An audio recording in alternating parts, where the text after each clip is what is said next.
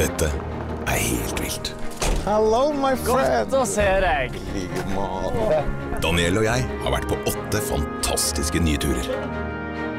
Du er eldst, klokest Det vil jeg klare og er hyggeligst. Ja, og da får du sove nederst. Jeg er jegeren. Og Daniel er mesterkokken. Det er helt perfekt. Åh, det ser så jævlig godt ut.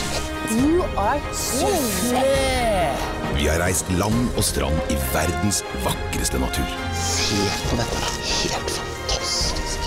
Havna i utrolig spennende jaktsituasjoner. Så der i ett minutt. Fått fantastiske råvarer. Og Daniel har fanga smaken av områder med lokale råvarer som oser et lite stykke Norge.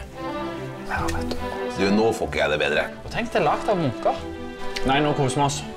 Opplevelser er alltid større når den deles med andre. Så vi har invitert med oss gjester til camp. En i andre foten nå, takk. Oi, oi, oi. En dame med tall her. Det er ikke tvil om det.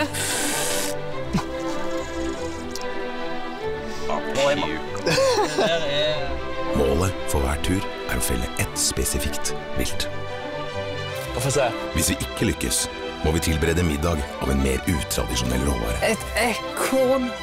Det blir rett og slett ei gråmåke. De sier at dette lukter piss fra du begynner å skjære i det, til du er ferdig å preparere det. Dette er helt vilt.